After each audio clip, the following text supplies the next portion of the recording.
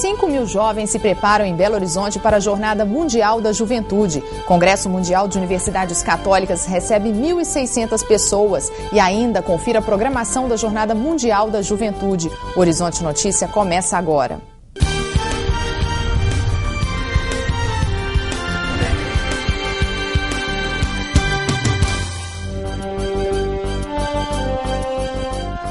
Cerca de 5 mil jovens participam em Belo Horizonte da Semana Missionária, uma preparação para a Jornada Mundial que tem início dia 23 de julho no Rio de Janeiro. Energia contagiante. A alegria da juventude se manifestou em forma de palmas, danças, cantos e muitos sorrisos. E depois de tanto tempo esperando, finalmente chegou o dia. Começou a Semana Missionária. Nós vemos, nos preparamos desde, desde o início do ano, nós é, várias, reuniões. nós rezamos bastante e, e vem, vemos fazendo uma caravana desde então, para a gente ficar cada vez mais animado e mais perto de Deus.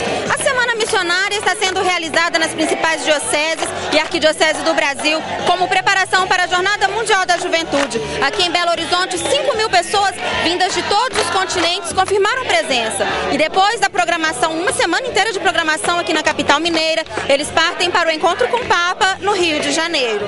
Nós vamos sair daqui felizes, né? Aqueles que vão se encontrar no Rio com o Papa Francisco poderão ser, assim, grandes enviados, grandes mensageiros, né? Em Belo Horizonte, a abertura foi na Praça da Pampulha. Bandeiras de muitos países se misturaram, colorindo o local. Methel veio da Inglaterra e foi hospedado pela paróquia Santa Luzia, no bairro Cidade Nova. Ele contou que está sendo muito bem recebido pelos brasileiros, que esta é sua primeira visita a Belo Horizonte e que da Semana Missionária nascerão muitas amizades. Many friendships from this World Youth Day that will last for many, many years. Mais de 12 mil pessoas, jovens na maioria, participaram da abertura. Nós estamos muito felizes com o resultado. Primeiro, pela participação aqui, com expressão viva da juventude da nossa arquidiocese e também dos jovens peregrinos. Eu acredito que aquilo que mais precisa ser recordado neste momento é o empenho de quase 2 mil voluntários que, desde março do ano passado, começaram a se organizar para a Semana Missionária. Celebração, apresentações culturais e shows da banda Dominus e do padre Fábio de Melo animaram a juventude. Eu acredito que toda transformação religiosa passa pela mudança da mentalidade. Hoje nós temos uma crise de valores muito profunda na sociedade que tem tornado a vida muito difícil. A violência, as drogas, a prostituição socializada, a desonestidade.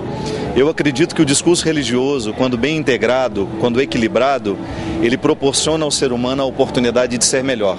É o que nós pretendemos com essa jornada: conclamar o mundo, a partir da cultura brasileira, a viver esses valores evangélicos. A Arquidiocese de Belo Horizonte avaliou como um sucesso o evento de abertura. A Semana Missionária vai até o dia 21 de julho, domingo, com eventos centrais e atividades nas paróquias. A Jornada Mundial da Juventude nos convida a um momento de profunda espiritualidade, de vivência de uma nova consciência social e política, de enfrentamento de vários e enormes desafios, como, por exemplo, a dependência química, mas também a organização da nossa sociedade. Nós, na Semana Missionária, os jovens de todo o Brasil, somos chamados a contemplar essas questões, a abrir o coração para Cristo e a viver com alegria, como é próprio do jovem esses momentos, escutar a palavra do Papa Francisco, as catequeses, e eu tenho certeza que nós daremos um grande passo adiante, qualificando os jovens e, consequentemente, qualificando neste momento importante a vida da sociedade brasileira. Jornada Mundial da Juventude, a visita do Papa Francisco ao Brasil, primeira visita oficial do Sumo Pontífice desde que foi eleito, inclui um dia em Aparecida, no interior de São Paulo. O Papa celebra missa no santuário às 10h30 da manhã. No Rio de Janeiro, a primeira celebração na JMJ será no dia 25, na festa de acolhida na praia de Copacabana. No dia 26, Francisco conversará com cinco detentos no Palácio São Joaquim, residência oficial do arcebispo do Rio. Do balcão do palácio, ao meio-dia, o Papa rezará a oração do Ângelus.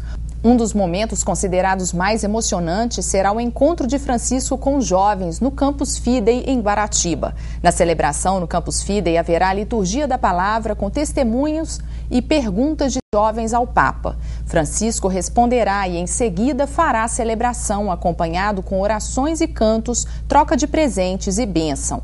Os jovens dormirão no Campus Fidei esperando a missa do dia seguinte, que será realizada às 10 da manhã. Neste momento, o Papa anunciará ao país que vai sediar a próxima Jornada Mundial da Juventude.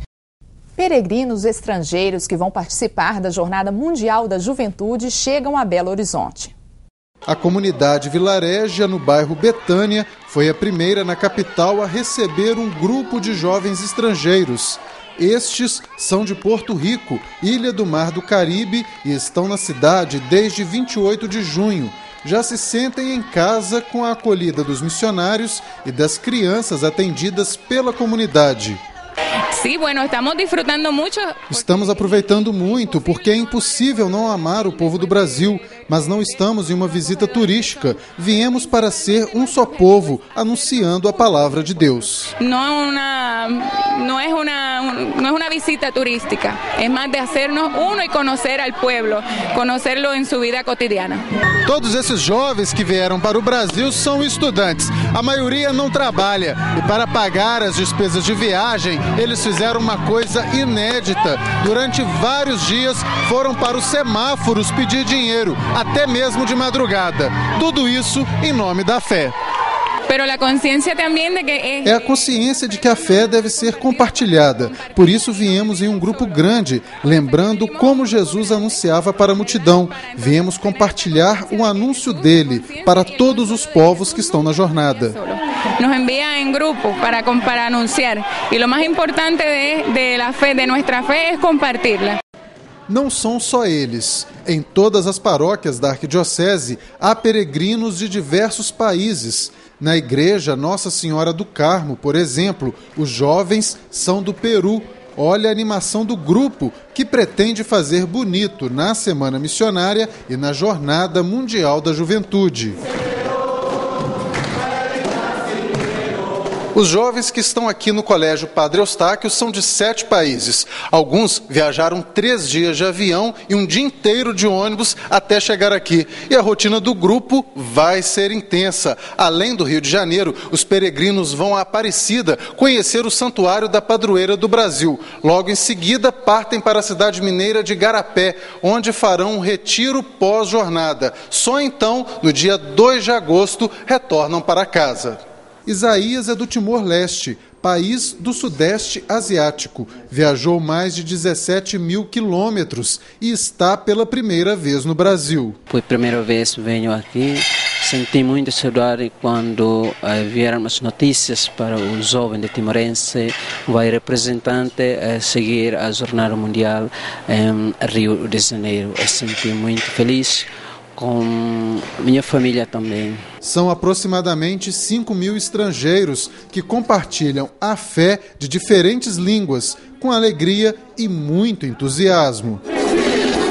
Escutem a minha galera, poderosa com alegria. Felicidade me espera, não posso mais adiar. O arcebispo metropolitano de Belo Horizonte, Dom Valmor Oliveira de Azevedo, e os bispos auxiliares da arquidiocese, Dom Luiz Gonzaga Fecchio, Dom Wilson Angotti e Dom João Justino, vão presidir catequese durante a Jornada Mundial da Juventude no Rio de Janeiro. Esses momentos especiais serão realizados de 24 a 26 de julho.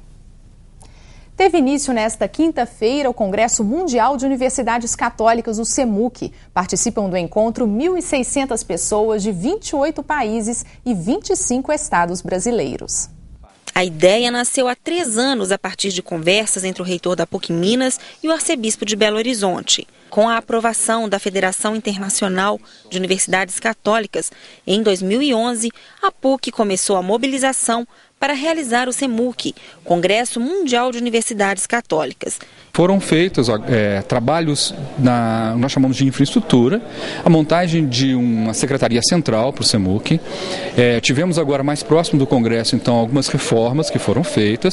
E como nós temos um número, um número grande de pessoas previstas para esse evento, não havia e não há na universidade um local que concentre tanta gente. Então, o que, que nós fizemos? Nós entramos em contato com uma empresa, que é uma empresa que trabalha com eventos, e montamos toda uma estrutura que as pessoas podem ver, que está à disposição. Os congressistas terão, farão parte, outros podem ver a estrutura funcionando no nosso complexo esportivo. 1.600 pessoas já se inscreveram para participar do congresso, vindas de 25 estados brasileiros e de outros 28 países. Oficinas, painéis, fóruns, minicursos, shows, apresentações culturais e arenas temáticas estão previstas no cronograma.